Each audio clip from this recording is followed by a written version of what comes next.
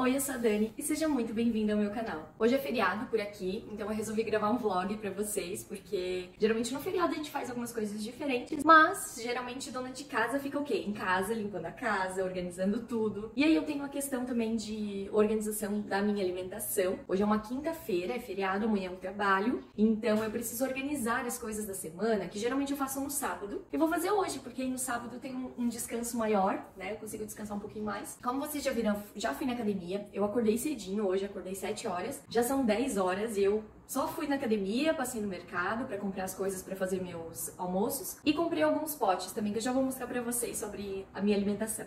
Sobre o meu planejamento, a minha alimentação, eu modifiquei algumas coisas. Embora eu já me cuidasse, né, já tivesse reduzido praticamente tudo que é mais industrializado, eu tô tentando diminuir ainda mais, porque ainda tinham algumas coisas. Eu geralmente acabava comendo pão de noite, né, pão integral, que não é ruim, não é uma coisa ruim, mas é porque eu tive mais assim um tapa na cara, mais um problema de saúde apareceu e eu andei pesquisando muito e pode ser, de repente, por causa de coisas que eu, que eu faço, que eu me alimento, que geram uma certa inflamação no corpo. E como eu não quero tratar com remédios, eu tô tentando fazer dessa forma natural, só que aí eu preciso cortar mais coisas ainda da minha alimentação, da minha vida. E aí eu tô agora fazendo comida salgada para comer à noite também. Então eu faço dois ou três cardápios e aí eu divido em marmitinhas e vou alternando essas marmitinhas de meio-dia, de noite. E aí para não comer a mesma coisa, né, de meio-dia e de noite, eu escolho então fazer essa, esse cardápio diferenciado. Bom, e o que que aconteceu, né? Porque eu já comentei num vlog que eu tinha descoberto mais um problema de saúde e agora eu me sinto um pouco mais preparada para falar porque eu sofri demais, assim, eu chorei muito. Porque não é alguma coisa assim tão grave, só que eu já tenho tumor na hipófise que já foi um baque que, que eu já tive que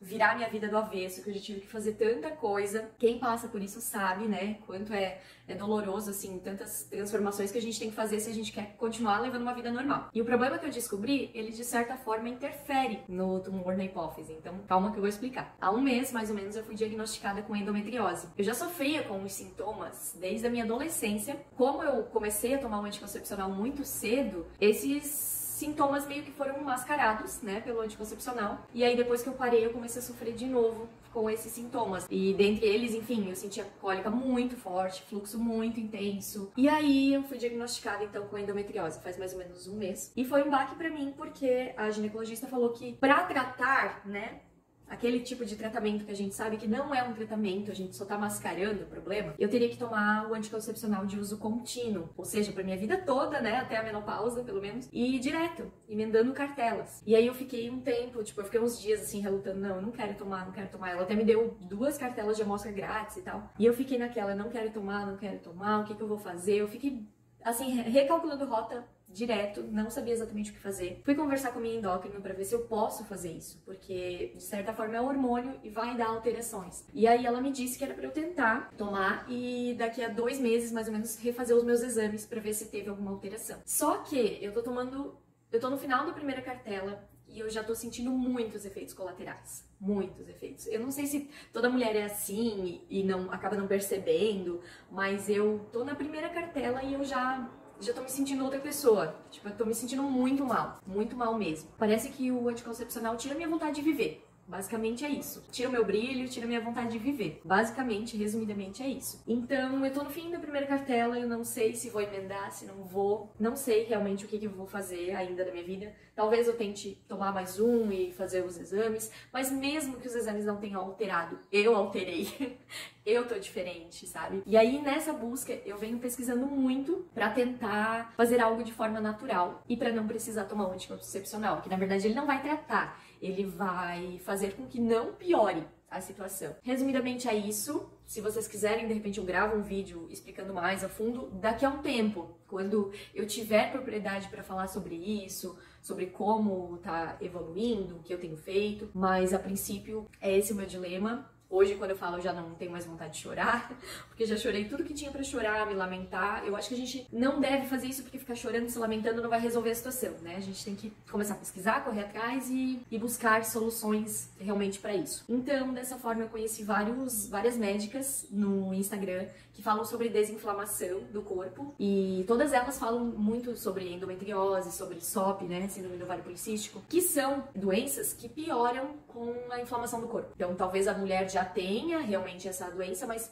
que sempre que o corpo está inflamado, os sintomas pioram e a doença também piora. Assim como quem tem doença autoimune também. Então, eu tô buscando essas soluções, né? Tô correndo atrás. Claro, é um processo lento, devagar. Não dá para mudar o mundo do dia para noite. Então eu tô tentando fazer mudanças gradativas. Então, né, hoje eu vou preparar minha alimentação, janta, almoço, vou fazer três cardápios diferentes. Vou mostrar aqui para vocês também. Passei numa loja agora que tava aberta, por incrível que pareça, porque é feriado aqui na minha cidade fecha tudo, e comprei, fui, fui atrás para comprar potes de vidro. Por quê?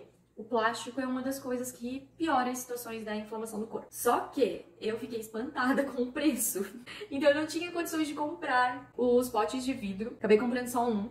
E aí eu penso, bom, de repente todo mês eu vou comprando um, daqui a pouco eu tenho o estoque necessário, né? E aí eu vou, na verdade, guardando uma quantidade maior de comida nos potes e daí na hora de esquentar eu coloco no prato de vidro, né? Ou esquento na panela mesmo para comer. E aí eu comprei um pote de vidro, então vou mostrar aqui para vocês. E comprei também alguns de plástico ainda, porque eu não tenho onde armazenar tanta comida que eu acabo fazendo, né? Então eu acabei comprando de plástico que era muito mais barato, que agora é o que meu bolso permite, mas que de repente eu vou comprando todo mês um pote de vidro para no final ali do ano, de repente eu já ter o, o estoque que eu precisar. Então vamos lá. Ó, comprei esse aqui de vidro, é ótimo, eu já tenho um desse também.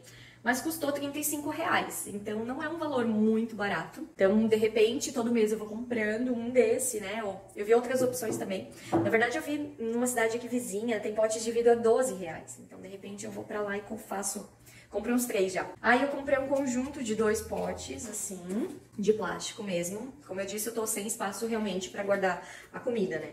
E esse eu paguei R$5,99 nos dois, os dois juntos, né? E aí eu comprei esses potes assim também, comprei dois desse, que é pra guardar queijo e armazenar algumas coisas na geladeira, sabe? Porque tá sempre uma folia minha geladeira, nunca tem lugar exato pra guardar. E esse eu paguei R$3,99 em cada um. Então, plástico é muito mais barato, né? Mas não é saudável. Enfim, né? Esse é meu dilema. Eu tô aqui cozinhando os meus ovos pro café da manhã, porque eu treinei em jejum hoje. Tá aqui quase pronto. Vou desligar. Fiz um chazinho, porque uma das coisas que eu preciso reduzir é o café. Eu adoro tomar café de manhã, é uma das coisas mais difíceis para mim. Mas quem me acompanha aqui há muito mais tempo sabe que eu fiquei seis meses sem café e daí eu voltei a tomar.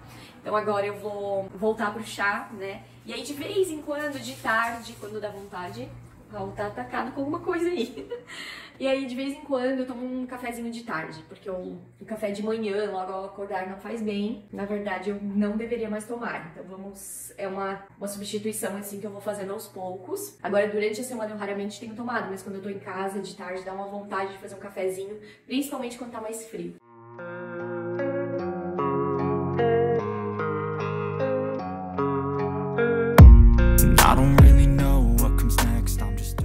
Já são quase 11 horas e eu aqui me enrolando para fazer as coisas, mas agora eu vou começar o almoço. Só quero mostrar para vocês antes alguém assim que vocês adoram ver aqui nos vlogs. Olha a folga desse gordo. Oi, Raul! Oi, meu amor! Ai, meu Deus, que coisa mais gostosa da mãe! Oh, se não é a coisa mais gostosa. Bom, então deixa eu mostrar qual vai ser o cardápio. Desculpem o barulho de fundo, provavelmente é a máquina de lavar.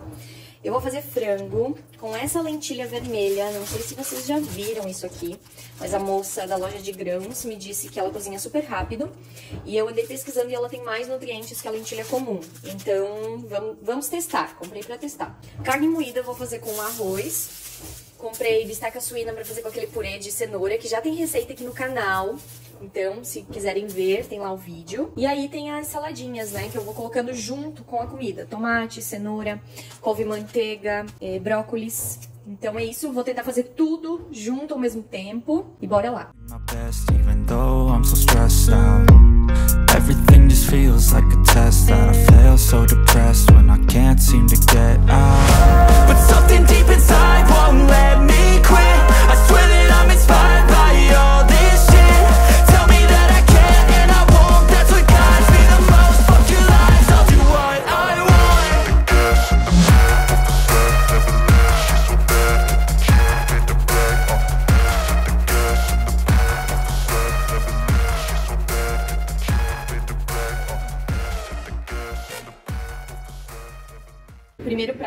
pronto, que é a lentilha vermelha com frango desfiado, couve e cenoura, tudo juntinho aqui.